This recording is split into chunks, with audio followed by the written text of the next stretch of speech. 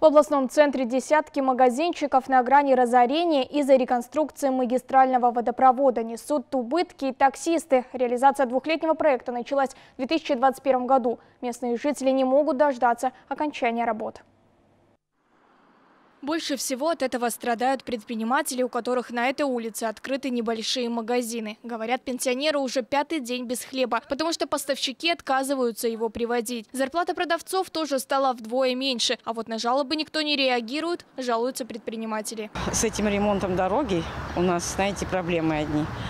Торговля упала, и нам поставщики не поставляют товар что еще даже и самим ездить. Тут это бежишь домой быстрее, на автобус идешь, тоже перекрыли дорогу, бежишь на другую и домой попадаешь поздно. Ну, все, почти половина у нас упала торговля. Потому что нету людей, люди как-то стараются где-то подъехать. Мы раньше продавали, там машинами брали, люди покупали ту же муку, хотят тоже масло, все хотят взять. А оно таскать тоже 25 куда будешь нести? За угол тоже не каждый понесет.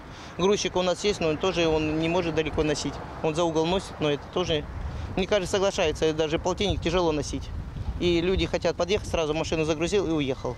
В убыток работают и таксисты. Из-за полностью закрытой полосы движения становится невозможно подъехать к домам и магазинам. Иногда маршрут увеличивается вдвое. Это дополнительные траты на бензин и, конечно же, время, за которое можно выполнить гораздо больше заказов.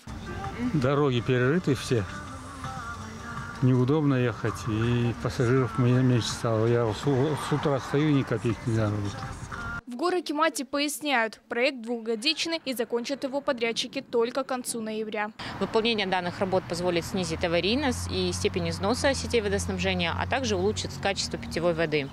А, работу ведет подрядная организация ТО «Аскади». В настоящее время работы находятся в завершающей стадии. Сейчас на улице Машхур-Зусупа производится засыпка траншеи, завезен щебень. Вот-вот начнут укладывать асфальт. Кристина Каспирович, Евгения Мяхченко, Ертыс Акпарат.